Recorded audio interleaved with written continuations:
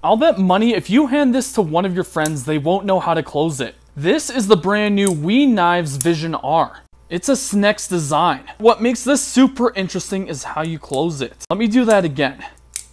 Yeah, this locking mechanism is truly unique.